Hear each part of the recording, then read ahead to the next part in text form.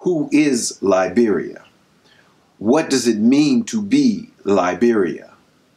Why does Liberia exist in the way that it does? And what will be the future of Liberia?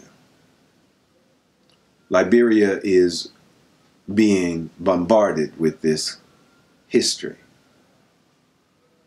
When he overthrew um, Todberg, he killed 17 enlisted men. You cannot do that.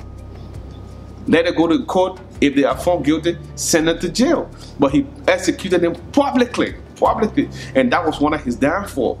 That was his, one of his downfall, because you are a military personnel. We know it, and those guys that he executed, they were not military personnel.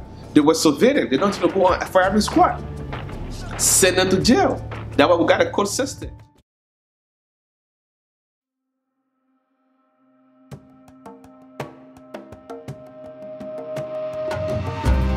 Founding of Liberia in the early 1800s was motivated by the domestic politics of slavery and race in the United States, as well as by U.S. foreign policy interests. In 1816, a group of white Americans founded the American Colonization Society, ACS, to deal with the problem of the growing number of free blacks in the United States by resettling them in Africa. The history of the colony and the history of the association are in some ways larger than the association. Because the American Colonization Society was yet another racist vehicle attempting to trample on the rights of African Americans and Africans by establishing the colony and mapping Liberia as a territory with a particular kind of relationship with the United States, they already began a process of redefining the space, the place, and the people who are in Liberia by this obtrusive act already devastated by the trade in enslaved Africans. Now this coast was being subject to being divided between the United States, the British, and the other colonial powers in the area. In 1818, the Society sent two representatives to West Africa to find a suitable location for the colony but they were unable to persuade local tribe leaders to sell any territory. In 1820, 88 free black settlers and three society members sailed to Sierra Leone. Before departing, they had signed a constitution requiring that an agent of the society administer the settlement under the U.S. law. They found shelter on Sherbro Island off the west coast of Africa, but many died from malaria. So the U.S. hired individuals to travel to the area and to make uh, lines based on what they thought were the logical borders for this space that they were returning the Africans to.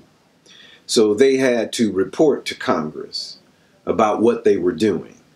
And in their reports to Congress, they would survey land and they would say, this part is claimed by Liberia. Do you understand? And that there are treaties that might have uh, claimed other territory which rest in the British hands or rest in some other colonial power's hands. And so, in this way, the U.S. did all of this very indirectly and created a whole kind of propaganda about they didn't have anything to do with the creation of Liberia. That, in fact, Liberia was being created by these returning formerly enslaved individuals who were being financed by the American Colonization Society, which was itself financed by these former uh, slave owners or not former slave owners, current slave owners, who wanted to get rid of all of the free uh, African American population. Once again, the local leaders resisted American attempts to purchase land. This time, the Navy officer in charge, Lieutenant Robert Stockton, coerced a local ruler to sell a strip of land to the society. The Sherbro Island group moved to this new location, and other blacks from the United States joined them. The local tribes continually attacked the new colony.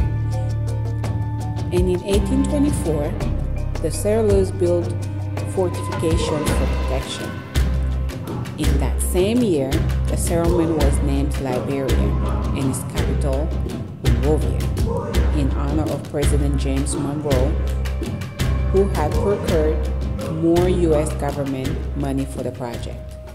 That population itself, right, had already been remade into something which was alien to the Africa that they would arrive in so that the African Americans themselves had been transformed into a kind of African American. They had been transformed from being people to being black people, from being humans to being a group of people who were uh, spoken of badly, treated badly, uh, denied access to the uh, educational institutions in the society, to the economic institutions in society. In, in a word, they had been really marginalized in American society. So if you take this group of people who were trying to rise up in the US, their attempts to rise up in the US was to become like the other Americans, which meant they wanted to embrace the kind of Christianity which was racially biased, and they had a negative view of Africa and Africans, like everybody else who was learning about the world through the prism of being in the United States. There was negative information that was always continuously being delivered about the intellectual and civilization capacity of Africa. So many of these early African American arrivals in Liberia carried with them the idea that they were going to civilize the Africans. They were going to teach them civilization. About 5% of the population of Liberia is descendant from these settlers. The United States government had provided Liberia some financial support, while Washington expected Monrovia to move towards self sufficiency.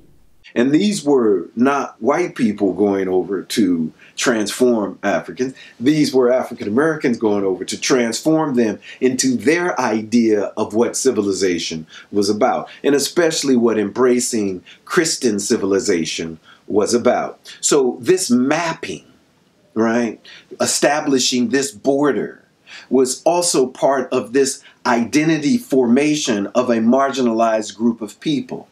You had on one hand the Africans who were already assumed by the U.S., right? Uh, its government, its military force, to be inferior because they were African. And then you had the African Americans who were trying to understand. And sometimes in their efforts to understand, they portrayed the same ignorance and racism, right, as the white Americans had been teaching them. Some would write and some would engage in intellectual activities to try to get beyond uh, this racism. Blyden, for example. You know, so there are individuals who attempted to go beyond that, but even they were weighed heavily down, right, with the American misconceptions of the role of Islam, of the role of African identity, of the role of different languages, of the engagement and processes of trade, because this is a big trade area, right, with the Kru folks and that whole kind of creating a coastal and a, uh, a river, ravine, a ravine kind of uh, a business network that was extremely important for the economy of West Africa and even West Africa's engagement with uh, Europe. So the border making is part of the identity creation, which removed the humanity of the Africans who are there and redefines them in a way which fits the political agenda of the United States and Europe. You're going to arrive and someone is sitting around and he's like a fifth generation, right, person who has memorized the Quran. Are you with me? And you're going to tell them they don't understand religion. You're going to tell them that you have a way of belief that they need to become aware of. That they need to change the clothing they wear so that it appears as the clothing that you're wearing. And the clothing you're wearing is a European suit. in Liberia. I didn't been to Liberia. It's hot in Liberia, brother. So they want you to change yourself into them as they have tried to change themselves into being a white American. Monrovia, President Monroe. Lib, you know, Liberia, liberty. You see the flag? You read the Constitution? America all up in there, right? And that's because of the process of intellectual development and growth of those who partook in this activity of going to this space, which was being mentally colonized by America, if not physically colonized by it. Because the best thing you could do, right, is train a slave to be like you. And then send that slave back to teach an African what civilization is. Because their message about what civilization is is going to be being a slave to America or the Europeans or the West. And this is the message they took. And they created a society in that way. And they used their military technology, their support from the US government, their uh, administrative, uh, uh, cross border uh, manipulation. They used all of this stuff to dominate the politics, right, of Liberia for over 100 years, for over 150 years. And when all of that collapsed, all of the hostility just boiled up, and the people were upset. They were upset by the lack of transparency, by the loss of traditions and customs which gave them access to those in power, and by the elitism expressed by those who claim to be the descendants right, of the Americo-Liberians, of the uh, descendants of those who returned to Africa in this way. But they returned transfigured. They returned not, you know, engaging with their ancestors, they returned in conflict with their ancestors. Liberia's President William Tolbert, a descendant of American slaves and a good friend of the U.S., was assassinated today in a coup led by an Army enlisted man who said that they're fed up with the government corruption. The new head of the government is the 28-year-old sergeant named Samuel Doe. 1980, Samuel Doe led a brutal coup against the regime of William Tolbert. President Tolbert was killed as well as many of his cabinet members. 1980, April 12th, on land that Ara Tolbert, one of the best presidents Liberia ever had before, was overthrown by Samuel Doe and some of his men from the military barrack. And uh, some of the reason why they said they overthrew the Liberian government at the time, they said they were underpaid and there were nepotism that were in the government at the time. They said, which of course it was not really good for some of the the, the ethnic group that were in Liberia because most of them were sidelined. Most of the uh, Amer African Americans and we call it American Liberians that came from overseas were taking permanent jobs and leaving the native capes. So that's the time the guys in Rao was a unique event, right? Because it marked that moment where there was going to be an end with the past. No longer were the political forces of the past going to be able to reassert their leadership and control over who would be in leadership and in commerce in Liberia. That's one thing he brought. And now that also gave rise to a a, a reinvigorated sense of identity, transformed now. because of this contact with the United States, because of this political domination by a particular class of people who identified with this legacy of the so called Americo Liberians.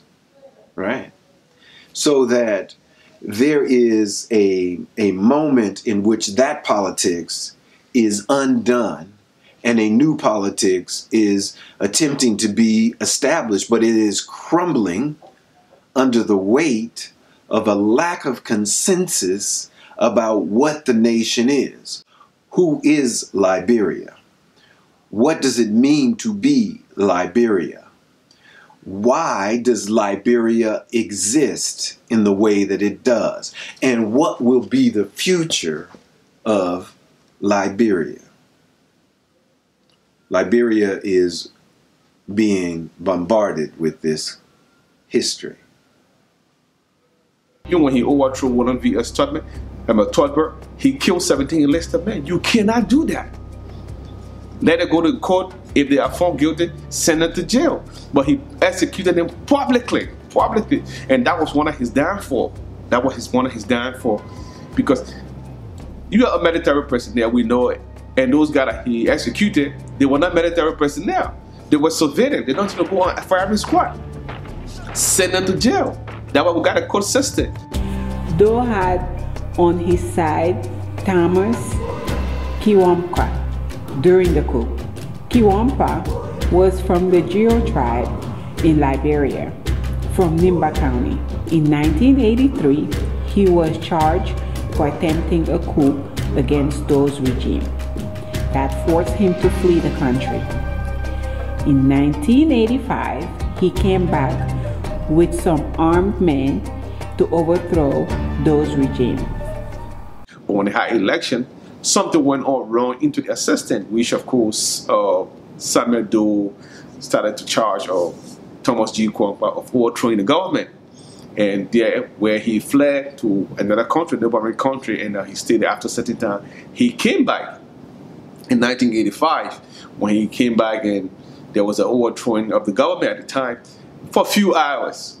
And uh, one of the guys, when when Thomas G. Kwankwa and some of his men, Prince Johnson for sure, which of course he was part of, Prince Johnson be part of the Iron Bandit for a very long time. And when they overthrew, one of the guys that called McQueen, who came with Thomas G. Kwankwa at the time, was left with Doe at the time. Doe was apprehended. The whole Liberian government was already shut down. Government was in chaos. But it was peaceful when you look at it logically, because there was no lot of bloodshed among civilians. The casualty were only among military personnel. So when they had Samuel Joe starter, Kwankwa and some of his men went to the radio station and went to maybe to other government entities to, to round up some people. And uh, all of a sudden, they say Samuel took over. Because the guy who was uh, who was in charge of taking care of Samuel at the time, somebody said Doe bribed with a huge amount of money, and which of course he let Doe go, and Samuel executed the guy they called General McQueen. For sure, he was was McQueen, and Samuel Doe took over the country. When he took, and he told his military man, uh, the the, uh, the coup was a failed coup at the time, and wherever uh, Kwankwa was, he was arrested, and that's the time Prince Johnson started to escape. Prince Johnson managed by all because they were all military personnel. They know the Bujis in Liberia, and he got along from one point to another. He crossed to Ivory Coast, from Ivory Coast, I mean Guinea, or uh, Nimba, from Nimba to Ivory Coast. He went to wherever he went, and unfortunately for Thomas G. Kwankwa, he was apprehended and he was brutally killed. Brutal was kind of really brutal. If you see the images they had on television, carried it uh, in newspaper, it was very brutal. Because of that attempt, the government marched to Nimba County and killed 3,000 people. Since then, a tension started between the indigenous tribes in Liberia. Samuel Doe went in Nimba County, he killed a lot of Nimbalians, and even he went in Monrovia to the St. Peter Lutheran Church located on the 14th Street because most of the people from Monrovia, they went to a big church, went to seek refuge. Doe and his men went in there. There was a huge massacre, and up to this time, there's a there, there's a grave site that is set as in the serve as a monument of those who lost their life at the time that Doe uh, executed. Samuel that's why he was a president, but he had some blood on his hand because of the casualty he uh, he had on like brave people. Even when he overthrew V. S. Tubman, um, Todberg, he killed 17 enlisted men. Charles Taylor studied in the United States and returned to Liberia. He worked in the government of Doe but was accused of embezzlement of $1 million. He fled to the US and was arrested. He managed to leave the US after a prison break. He then went to Libya and trained in guerrilla fight. In 1989, he returned to Liberia with his National Patriotic Front of Liberia, NPFL, to fight the regime of Samuel Doe. That was the beginning of the brutal Liberian Civil War. Prince Johnson, who was eager to revenge, joined force with Taylor, but the alliance did not last long. From Nimba County, December 1989. That's the time the, uh, the uprising started in, in Liberia at the time. And people did not really know about rebel movement because most of the people were not educated to some of the catastrophes that they were going, they were going to go through. They just felt because of rebel movement, when they come in, they just go to arrest the president or do this, you know what I mean? Few people were going to be wounded and everything was going to be over. But Liberian people were miscalculating at the time. Charles Taylor had a unit composed with a lot of young kids aged 7 and up. They were brainwashed and drugged for battles and to control checkpoints. That strategy happens to be very effective because Taylor was able to control most part of the country. As they moved toward Monrovia, two tribes were the main target the Mandingo and the Krahn, which gave rise to a new rebel force, ULIMO, composed of those two tribes. When, uh, when Chancellor went in there, when he deflected from uh, their goals or their aim of overthrowing the government, he declared himself president and he had his own political capital in Gbarnga. He took what radio station, he executed most of the government employees that were there at the time. It does not mean because they got them with government employees and when Chancellor went there, most of the rebels said, oh, you guys were enjoying. And he brutally murdered some of those guys. And Prince Johnson, especially Prince Johnson, Prince Johnson got ignored. But when Chancellor went there from 1989 to them like 1993, 94, there were only two movements, which of course were uh, Prince Johnson, NPFLJ, Johnson, which was for Johnson, and NPFL for Charleston, the other NPFL for Charleston, original NPFL at the time, because they split over certain agreement that Charleston was not wanting to abide by when they went and took over the whole Monrovia, which of course the Madingos. the Mandingos got annoyed because Charleston was executing most of the boys from Nimba County. I don't know for what reason they had with the Madingos. They started to execute most of the guys, and they were Muslims. They executed some of those guys and there were no place for them in, in, in Monrovia, in Liberia, so they had to maybe go to another country like neighboring country like Guinea, Sierra Leone, and Africa to survive. And which, of course, yeah, they had to go. They had, they had to go to another country for them for them to make life. And uh, he went in Lofa County to committing crimes in Lofa County. Prince Johnson captured Samuel Doe with the help of ECOMOG. They tortured Doe to death. Prince Johnson was in Monrovia. He, he had a base in Caldwell, Monrovia, just outside Monrovia, like less than 10 minute drive from Monrovia, from the, the, capital city of Monrovia to this particular city they call Caldwell. There Prince Johnson was based. And there was some kind of negotiation on the ground around uh, the free port of Monrovia. And they invited Samuel for a peace talk so they can see how best they can, you know, solve some of the problems in Liberia. So Prince Samuel and some of his men left from the executive mansion. They went to the uh, Freeport of Monrovia. When they went to the Freeport of Monrovia, they went, not only it was a trap that Prince Johnson was trying to set up for, for, for Samuel When there, there was a heavy gunfire around there. Unfortunately, Prince, uh, Samuel, Prince Johnson captured Samuel and he was brutally murdered. Nobody want to see. It was very, very gruesome.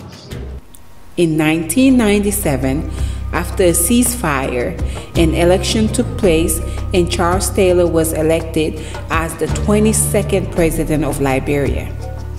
Once in office, he removed about 25,000 Krahn people from the army.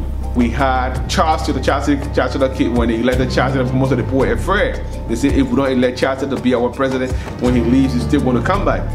Taylor armed the rebels from his neighboring countries of Sierra Leone and Guinea in exchange of diamonds. Fortunately, Charles Taylor was apprehended because he masterminded the activities uh, from uh, Foday Sankoh from Sierra. He get a patch from Foday Sankoh because it was in his territory. He was holding that territory in Lofa County, and he get a passage to Foday Sankoh for Foday Sankoh to carry a rebel movement into Sierra Leone. That's some of Charles down for. He left Foday Sankoh to go to Sierra Leone, and Foday Sankoh, when he killed most of the guys, I think maybe you watched some of the movie before, maybe uh, some of your colleagues have watched the movie before, they call Blood Diamond. Cutting somebody's arms up because the person is from Sierra Leone. That's insane. for this Sankoh and I condemn Charles Taylor for that. Cutting their hand. And Charles Taylor refused to accept the fact that he let Charles um, Foday Sankoh to go to Liberia. But it went through investigation that the president for, for Suriname at the time, uh, Nkrumah, Nkrumah filed a case to the head, and all of a sudden Charles Taylor was found guilty because he was in Liberia at the time. They told him to leave. Charles Taylor was supposed to leave. When the Guinean army pushed out the rebels, the president allowed recruitment to take place and he helped finance it. From there, the Maningo tribe formed a different rebel group called LURD, Lord, on its head Sekou Conneh. The Bush administration is pressing the Liberian leader to leave the country. He's seen by many as the biggest impediment to peace in the region. Liberian people is getting worse and worse and worse. And so our uh, commitment is to enable ECOWAS to go in, and the Pentagon will make it clear over time what that means. Uh, secondly, it is very important for Charles Taylor to leave the country. What if I had just hightailed out of town three weeks ago? Catastrophe in Liberia. Finally, I said, I'm not going in a place until troops come. Everybody said, oh, yeah, yeah, yeah, yeah, you're right. We need to send some troops in there. Why didn't someone know that before? Why would they let President Bush, his advisors, let President Bush get on the air and make such a provocative statement without giving him all of the facts? They've shelled the city. If they had broken through our lines, what would have happened? They would have murdered thousands. I actually heard that the, the, the shell that hit the embassy, they were able to track it back to American American mortars given to Guinea under the pretext of being of using it for training purposes. Thousands of them have entered here. Uh, there's very little that anybody can say about this. I said this is a United States covert war, and they've got Liberian blood on their hands. The LURD took over Monrovia and forced Charles Taylor to exile in Nigeria. Hey. And Charles Taylor, the only country that accepted Charles Taylor at the time was Nigeria. Nigeria gave him a passage and a political asylum. When he went to Nigeria, living in one of those states, maybe he felt his security was not that guaranteed. So he was trying to leave from um, from uh, from Nigeria to another country, and there's a time the upper hand Charles Taylor, and it was they was listening to Monrovia. He went Monrovia from Monrovia. He went to the Hague. A few years ago, when uh, Ellen Johnson ran to be president on the Unity Party ticket, and uh, she was successful, and now she became the first female president of Liberia. Harvard graduate. Hey, applaud her for that. She did that extremely well. She put Liberia on the pace, and she ruled for the first term six years, and now she went for the second term. The first time was kind of really okay. Everything was calm in Monrovia, uh, in Liberia. There's meaningful development going on. She set up, you know, stuff that the Liberian people were already expecting at the time from, from Charles but Charles did not listen to the West.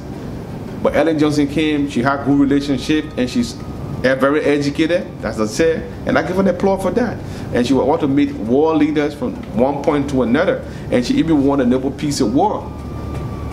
March 2013, 11 years since the end of the conflict, rose another war.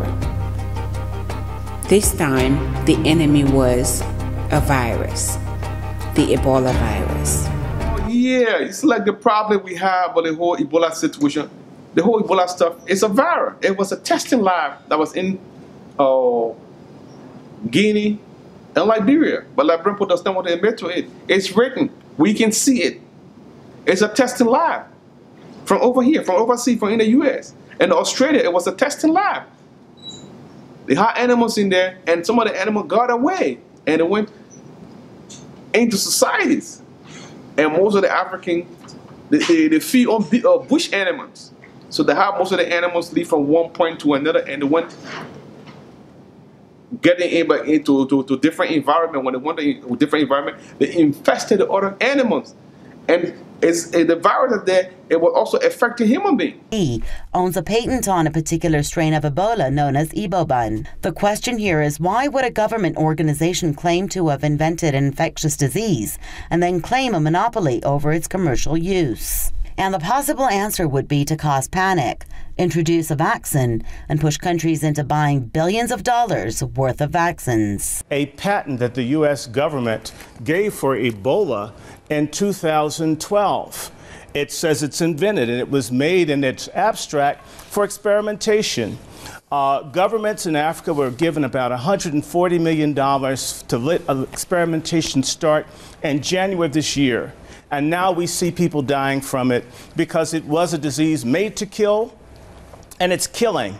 And in reality, uh, this late move to me has more to do with creating a panic so people can sell medication as well as kill Africans. Uh, this gentleman and I are going to disagree. I'm an African American and quite proud of it.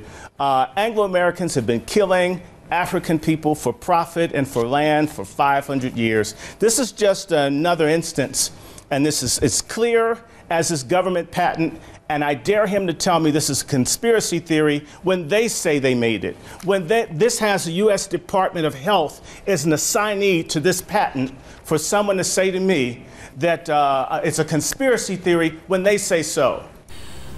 2017, a new election took place. Ex football player George Weah is expected to face Liberian Vice President Joseph Boakai in a runoff for the country's presidency. George Weah, the famous ex soccer player, took as running mate the wife of Charles Taylor. President in Liberia right now, but uh, the country like broke out independent in 1847. But since that time, Liberia has not improved compared to the other countries that get independent in the 70s, the 60s, and uh, present time. But uh, we're still looking forward to meaningful development after quite recent, the high uh, the election into our country, and uh, which of course Joseph Boakai, George Weah, and other guys had a lot of political parties in the, in the league. But presently, we are looking at the runoff between George Weah from the CDC and uh, Joseph Boakai from the Unity Party, and now they went neck to neck. But uh, some of the political parties did not to go far into the election, so now they're looking for the runoff between Joseph Boakai and George Weah. and uh, the election commission in Liberia have postponed the election date because one of the party up barrier called Brumskine, Charles Brumskine filed a complaint that the election was not fair and the, the Temple of Justice or the Justice Department had to look into that case. And uh, they got to take it serious because it is his concern. And now the matter was thrown off the Justice Ministry. They told him to go to National Election Commission of Liberia, and now it's still on the table. But up to this time, we don't uh, we do not really know the set date of the election. And looking at George Weah in the lead and Joseph Boakai, Joseph Boakai from the Unity Party, he got a lot of experience and he's old. I do agree you need change in the environment, but if you're looking for change, change that will come into the positive direction. We're not looking for change that will come and be a catastrophe in the end people are saying they like George Weah. I personally love George Weah and I love Joseph Boakai. But George Weah is just going into the political cycle right now. He does not have that international experience in politics. And playing soccer and being a world best is quite different when you're taking political office, as we can see in other part of the world. Even part of the US, we can see it today. George Weah is not 100% seasoned to lead the Liberian people. You can lead an organization, or maybe 15, 20 person. But for you to lead a nation with 2.5 billion or even 3 billion people, it's kind of really hard. And now I know he got a lot of supporters and uh, both parties, they got a lot of supporters. But we're really eager to seeing something that will come fruitful for Liberian people. And uh, we're looking at the President Ellen Johnson Sirleaf because she's cross carpet from a uh, Unity Party, and I learned that she's supporting CDC, but I have not seen it in any kind of written document, so I cannot prove it. It's just a rumor that's circulating. And in African society, the rumor is circulating 75% of the rumor. Sometimes there's a great possibility it might be true. So, but we look here, we're kind of weighing between it and looking at, you know, to see, to do our check and balances. But if I thought she did, then it's not fair to the inter party because well, no matter how and no matter what it is, if you're from a Unity Party or you're from any kind of political party, you're supposed to support the candidate that will be running to be a next successor. But she did not do it. But most of her kids and Ellen Johnson have crossed over to the Party and supporting George Weah. And the problem the international community got with George Weah, I think that some of the process that is why delaying the Liberian election coming uh, soon because the international community and the West African region, they do not really have enough trust in George Weah because of the fight. And know for sure that I saw it on video. He linking up, he linking up with Charles Taylor. He be getting the boxes from Charles Taylor, which of course is on video, and I can prove that. And his wife, uh, Charles Taylor wife, Jewel Howard Taylor, who's serving as a running mate to Charles Taylor. She said she's going to go ahead with Charles, some of Charles Taylor plan. The international community, especially the West Africa, most of the West African countries sent troops in Liberia to keep peace, to bring that stability. Most of the guys that die. The first thing Liberia needs to do is not forget about any conflict. Liberia needs a critical analysis of its history, an assessment of why these conflicts are there, a rene renegotiated contract between the government and the people of Liberia. A conversation about a, re a renaissance of Liberia, Liberian culture reimagined, Liberian people reimagined, reimagined for the future. A future which consists of evaluating the past that it has had, but is assertive about using this moment to make a better Liberia in the days to come. Liberia doesn't have a choice.